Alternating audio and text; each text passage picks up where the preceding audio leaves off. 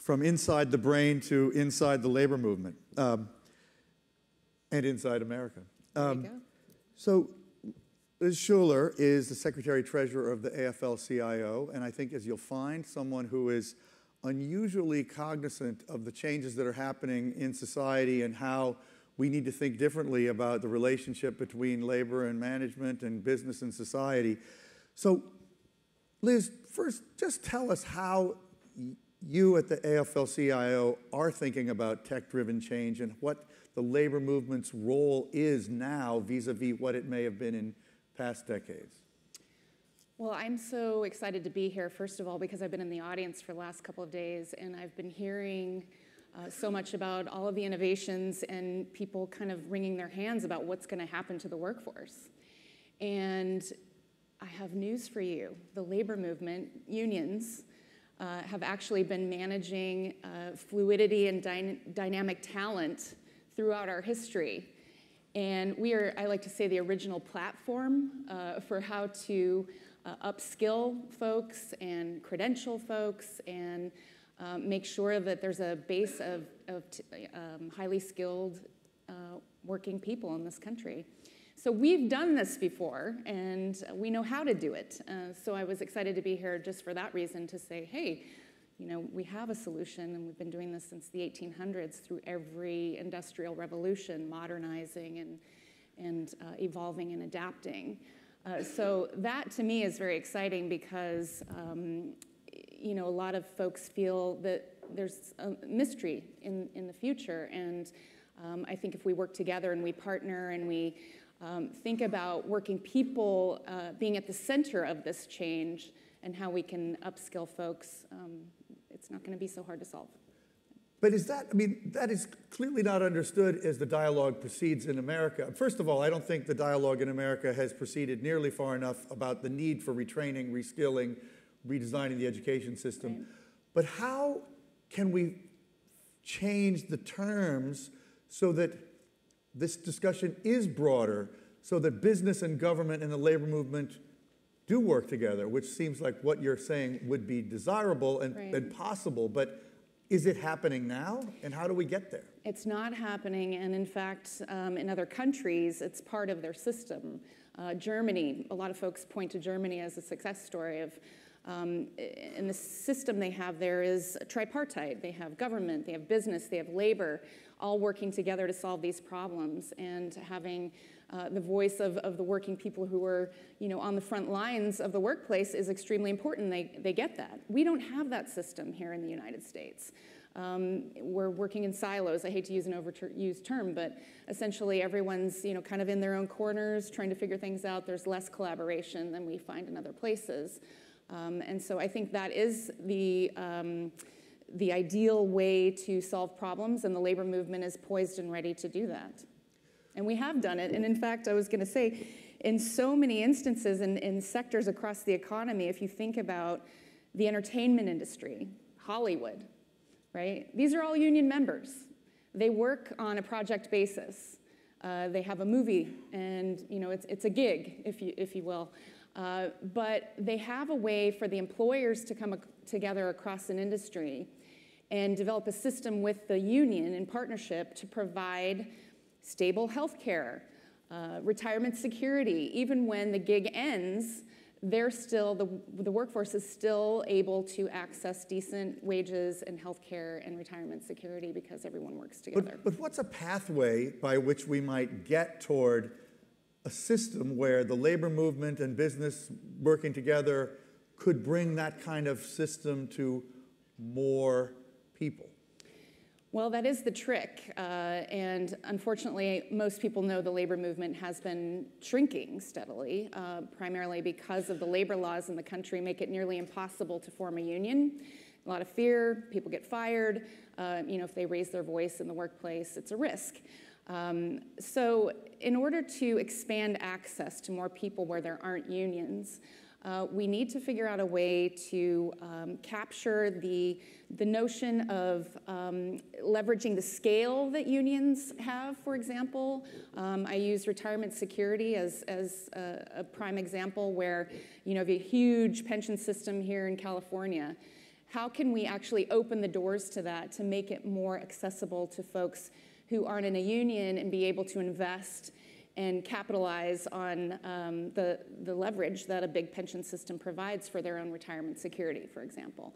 But there are examples of like that across uh, the labor movement where um, that's all workers want is opportunity opportunity to make a decent wage to train and upskill um, their credentials uh, to have access to benefits uh, so we need to actually be thinking about in the labor movement modernizing um, and working with others to open the doors. Well, one, one interesting thing that, that happened in the last few years is the $15 an hour as a minimum living, it's still very low, but minimum living wage was really something that came out of the labor movement and has now pretty much been accepted as a reasonable floor, but that you didn't get paid any dues for that. In, in other words, is there a is there a role that the labor movement, the AFL-CIO in particular, could play more broadly than it has in the past as sort of a national spokesperson, a, an organization, maybe a membership or, or some kind of civic organization that is a more broader advocacy organization on top of the work you do negotiating contracts with employers? Absolutely. Um, I think, as I said, we have uh, we know how to work with stable employers where work is constant, and we know how to work in these dynamic industries where work is fluid. And this fight for 15, as, as it was called, um, when it first got started, I think people thought they're crazy. You know, $15 an hour, really? Um, and as you said, it's now kind of accepted. Oh, and you know, Jeff Bezos is saying, yes, of course, you know, we need to pay a decent wage. Um, that was not without kicking and screaming. I, I, think, you know, for, for years, people have been out in the streets um, and raising their voices and trying to push for that change. So it doesn't just happen voluntarily, is kind of how we look at it. Um, but I think, um, you know, again, the labor movement has been there, um, you know, for decades, thinking about how we provide decent um, opportunity for employment so that you can get a um, pathway to the middle class, feed your family, uh, make sure that, um, again, inequality isn't increasing. And I think that is one big concern with technology creeping in, right? We have all these advancements coming, but we don't have the policies in place to make sure that those um, efficiencies, those productivity gains are actually reinvested into people, the actual people that are still on the planet that are going to be using these technologies. But so, so the labor movement is and can become more of a articulating entity, advocate for that sort of way of looking at the world? Well, hopefully, we, again, um, we've adapted over the course of all of the other industrial revolutions, thinking about how worker voice and collective action um, looks when the economy changes. And yes, we are at that moment where okay. we have to look at ourselves. Well, there's a promising set of developments separately that I think are worth mentioning. I mean, I'm a baby boomer. I was a proud union member and activist in the mm-hmm. Newspaper Guild, a unit chairperson. And I mean, I, but my generation generally was not very friendly to the labor movement. Mm-hmm. I think the un- labor movement, we, we, didn't generally support labor in our work. Uh, however, it seems like the young people today have a much less negative view about the idea of organizing for benefit. And if you look at the astonishing developments that have happened in digital media in New York in particular, all these shops, you know, that are digital news organizations comprised entirely of millennials and very young people mm. are organizing and joining unions. Um, right. At the same time, you have these walkouts at Google and employee protests at Amazon, Microsoft. There's a kind of a again, the technology industry under a, a microscope, but be, serving as an example that there's a change in the psychology of a certain number of workers in this country right. of speaking up. So, what does that mean for you?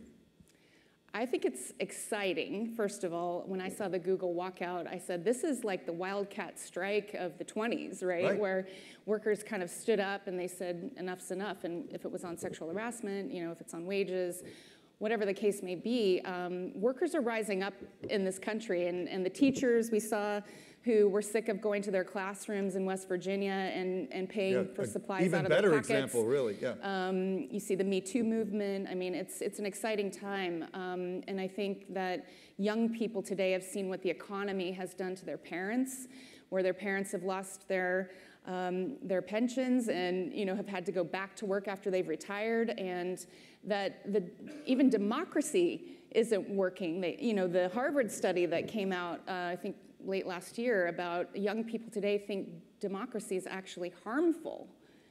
I mean, it was border what 35%, I want to say.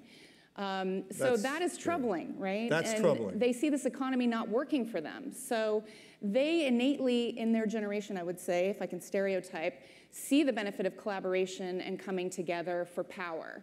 And so that translates very easily to the union movement. It will look different, though, right? It won't be the traditional model that we've seen where you work for one employer for 30 years and the union office is right there next to the plant. It's going to be more distributed, it's going to be perhaps virtual. Um, we're going to use new technological tools uh, to harness that power. Are you seeing that in your membership yet, or is there, is there an uptick? What's the, what's the state of play? Well, I think that we're at a moment where the labor movement is either going to grow exponentially or continue to, to die a slow death and perhaps be reinvented. Um, but I think what I'm seeing out there, what I was saying about the uprisings, is that people are, uh, they've had enough of the way the economy is broken. Um, they see inequality growing. They see stagnant wages for you know the last 30 years, and the only way that they can fight back is to figure out um, you know, ways to come together collectively. Um, and in this country, we're so conditioned to think about us as individuals and, you know, the whole pull yourself up by your bootstraps kind of mentality, which is, of course, important. But at the same time, uh, we can't do everything on our own, right? We, we do have to come together, and I think Silicon Valley is a great example of that, working in teams and innovating in, in groups. And uh, I think the same is the case for workers in the workplace. Yeah, actually, this whole American thing of the heroic individual may be something that is changing, that there is more of a sense of something collective, and the internet probably has a lot to do with that. But I want to hear what people in the audience and, uh, have to say. I'm sure there's interesting questions or comments. While we're waiting for a question, I want to say, in terms of upskilling, to me, that is a prime example of how more and more burden has been shifted to the indiv- individual. Yeah. We used to have systems in our country where, you know, our, our education systems were, um, you know, the government took more responsibility, or employers took uh, responsibility for training and upskilling people. And now we're seeing um, individuals at great cost to themselves going down these paths where they're investing, you know, tons of money in these programs, and then they don't have a job at the end of the program, and they're in debt. And I think it's on average thirty thousand dollars um, in debt is what most people are carrying now. Yeah, that's, Yeah. that's got to change. Yeah. Uh, okay, who's got something to, to add to this discussion? Over here. Uh, okay, Yeah, hi, uh, Dan Elron, Accenture. Have you seen any uh, interesting models where employers and unions get together to promote training so the training is portable and the employer doesn't risk losing their whole investment if the employee leaves? Some kind of collaborative system for that? Absolutely. thanks, good question.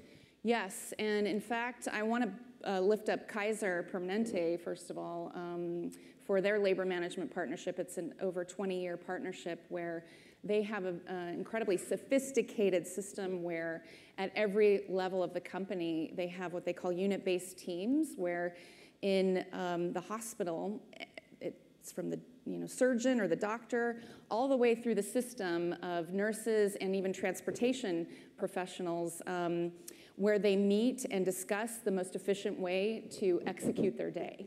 Uh, so every morning they'll have a team meeting. Um, and I remember once a nurse was saying, you know, I'm the one that's transporting the, the patient after they have their, their procedure uh, because Kaiser wants the experience to be such a good experience that it's like, you know, you stick with the patient throughout the whole process. And in fact, it is so much cheaper to be able to get me back on the floor and have someone else move that person, um, you know, to, to exit the, the system than it is for a nurse who could be actually on the floor providing uh, care to another patient. So that's an example of a really sophisticated partnership. I mean, they But- figured a way to change that as a result? Yes, they did. And it was all based on the worker feedback because, you know, you have the frontline folks who are, are in the workplace seeing exactly what's going on and management really not knowing how to create those efficiencies. And it saved millions, right? And provided better care and better outcomes for patients. Um, another industry that's really um, uh, a great example of the way we collaborate in terms of training, I would say, um, is more stereotypical, but the construction industry um, which I, I think, again, is the original um, kind of Uber platform, right, for transactions, where um, employers knew that in an industry like construction, they're going to need a steady base of talent, uh, no matter which employer you are. And so, if you need an electrician, you know that you can go to the labor management partnership, that the union will train that electrician to the highest standards, and that any contractor in the country can draw on that talent pool. And all the while, they're paying into a system where the worker and the employer pay in for the training and also for their retirement and health care. So it's portable benefits, um, what 1.0, right? And that's the union you came out of, in fact. right, that's right, yeah. Okay, over here. Yeah, uh, John Madison, Kaiser Permanente. Um, I wanted to ask an unrelated question, and that is the Institute for the Future has advocated what they call asset equality, and they refer to uh, the Scandinavian countries in particular, where the base of, of uh, free resources, education, healthcare, and so forth, is such that there's much more fluidity in retraining and so forth. Do you see the future uh, being more state sponsored or more employer sponsored or some combination? How do you see in our culture approaching the kind of floor that's established in asset equality uh, that enables social mobility, uh, such as the uh, Scandinavian countries? Wow, that's an interesting question. And um, I think we're all kind of studying um, the other models overseas, right? Because they do have such a high quality of life. Uh, in the Nordic countries, and um, and there's been a lot of talk about universal basic income and what that could portend for the future. And I know there's some experiments going on with that, but I think we believe that really, for the most part, people want to work, they want to have a decent job, they want to have opportunity, and the respect and the dignity that comes with work is worth investing in. And if you think about um, the opportunities we have now to determine the policies and the underpinnings of when, in fact, technology does take off and automation and, and robotics and artificial intelligence do start to displace people, we have a responsibility as a society to reinvest um, you know, some of the profits that we're seeing come out of that increased productivity back into our society. And so, uh, you know, I think um, if we don't make the right choices now, uh, that dystopic future that people keep worrying about could indeed happen. Okay, on, on making the right choices now. Uh, when we talked on the phone the other day, you were about to get on a plane to go down and campaign for Stacey Abrams. The, the, the AFL-CIO has made a major commitment to Democratic Party candidates in this recent election. There's been a huge gain. Uh, how does that change things? Do you require the Democratic Party to have more influence in American society for you to achieve the results you want? And, and have you, are you more optimistic because of this election that just happened? Well, I, th- I think I want to clarify that we are politically independent, right? It just so happens that the issues we care about, um, you know, making a decent future for working people and and all that, um, you know, members of Congress vote on, their voting records end up aligning more with the Democratic Party. So some Republican candidates you yes, do support? Yes, Yeah. so we are bipartisan. Um, but, and I will say that a lot of the attacks that the labor movement have faced come from that stereotype of, of you know, that if you kill labor, then you kill the Democratic Party, right? So on the Republican side, there's been this anti-labor trend. Um, all across the country. Um, but we were excited to see working family candidates elected all across the country. And I will say that we had um, over 900 union members actually run for office and win. um, or thousands ran, but 900 won. At um, all levels of At all government. levels of government, and um, we have a U.S. senator that's a union member. um, Who is that? uh, Jacky Rosen from Nevada. Wow. uh, was a culinary worker. Um, we have 18 members of Congress, uh, two governors. Um, and so that was sort of our answer to this is if you don't like what you're seeing, get off the sidelines and run for office. Is that And new to have that many elected Yes. officials come from the labor movement? It's a big surge, and you've seen it with women candidates um, post Me Too movement and the Women's March flooding, um, you know, into the the uh, arena, and so union members as well. So we need political change, though, to set the groundwork for a lot of the changes you want to see, I assume. Yes, absolutely. And I would say having working people in those positions of power will help us change the rules of the economy and make it easier, we hope, for workers to be coming together, like you said, in new media and, and other places as the economy grows and changes, uh, figuring out what that modern labor movement looks like. Well, like I've said several times, inclusion is one of the themes of this conference, and it's a clear example of how that can work and, and should work. And we, that's why we're so glad to include you in our program and in our video for that we will distribute after the fact. And uh, want you to keep your good work going. And I want to Thanks so offer a challenge to folks here um, that the labor movement is ready and willing to partner at any time, anywhere, to think creatively um, and innovatively of how we upskill the, the workforce of the future and make sure that people still have access to good jobs. Um, and I want to thank the, the folks who are working here. You know, I think backstage and the folks, you know, serving your food and cleaning your rooms and um, the firefighters who are out literally, you know, in danger as we speak. Um, valuing that work and seeing that work as you go through this uh, technological shift. Thank you. Thank you so much.